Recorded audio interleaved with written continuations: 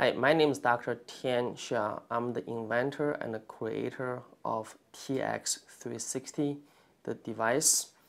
Uh, this device was created back in 2008. This FDA cleared for commercialization in United States in 2010. This video is to show you how to use this device properly. Your open box. Within each box, there will be instructional manual each box will come with 10 sets of the devices. Each set include a device and also a syringe. When we put the box aside,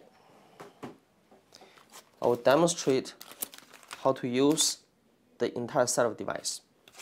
The first movement you will do is open up the syringe and then open up the device.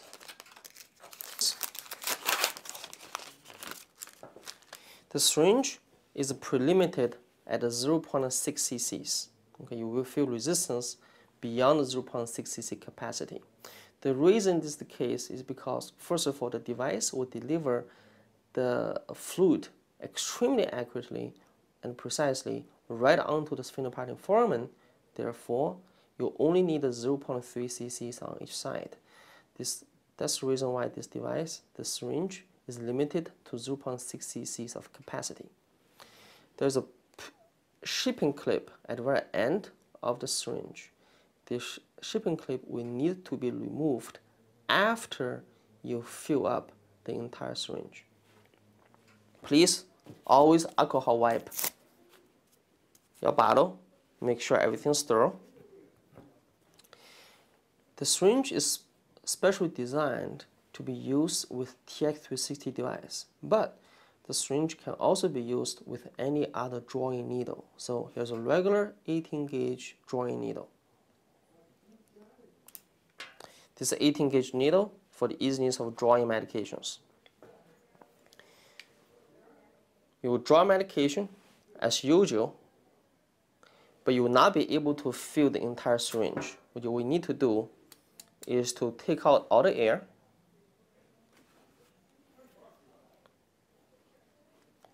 refill the syringe to its capacity at 0.6 cc's.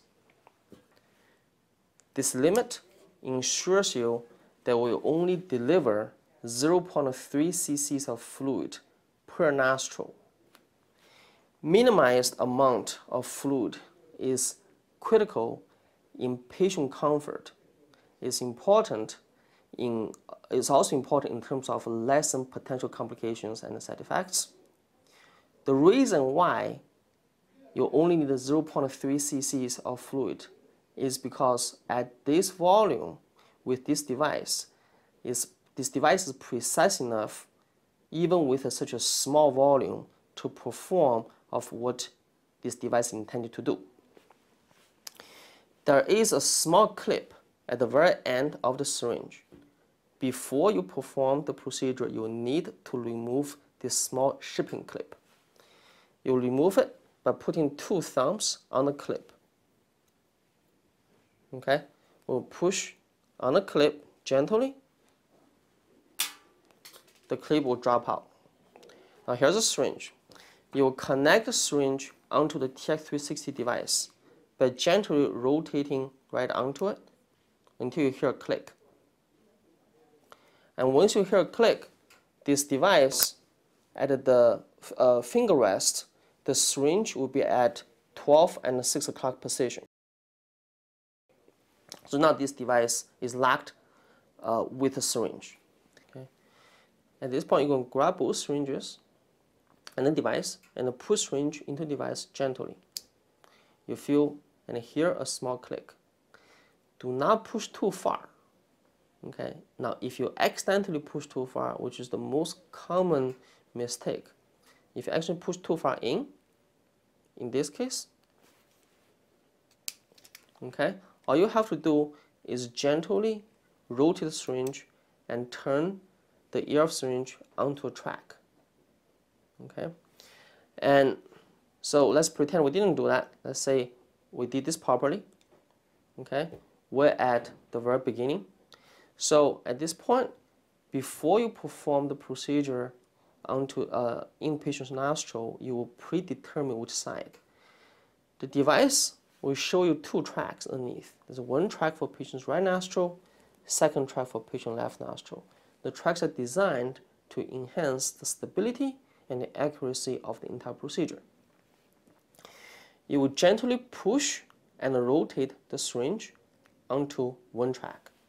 So in this case, I've chosen my right side, which is the patient's left nostril. So now we're on the left track for the patient's left nostril. You can see the syringe is moving freely along a track without needing to hold it.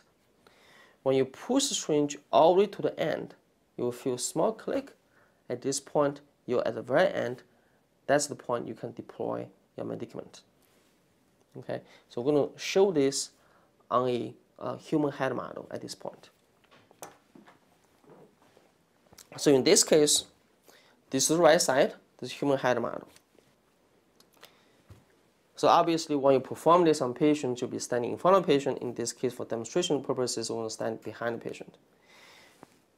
So with the syringe being rotated onto the track intended for the right sphenopalatine foramen, we'll insert device into patient nostril as much as you can.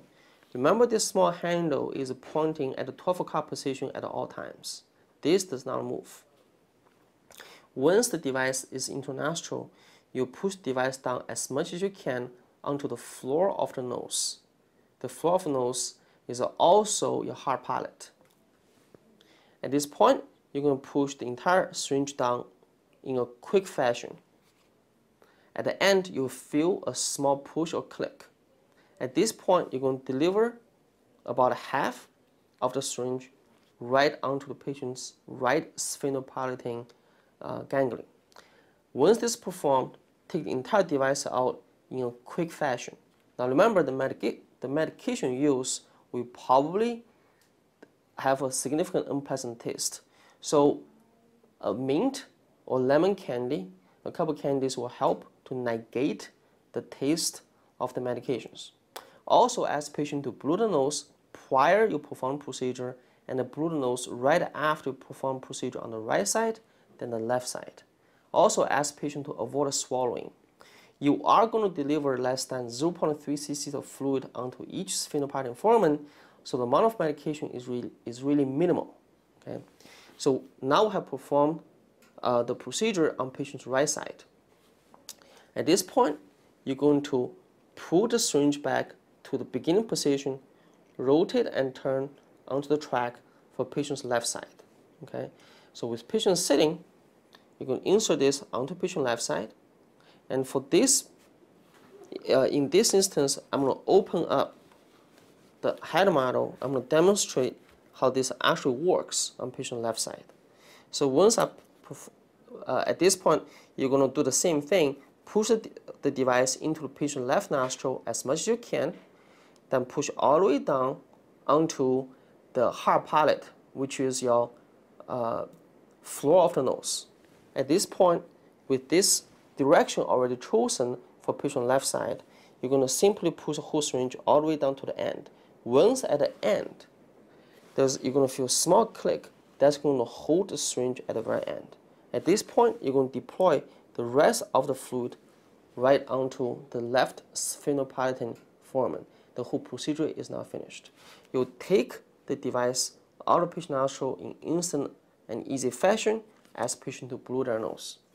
As you can see, the fluid is being sprayed right onto the right and the left sphenopalatine foramen.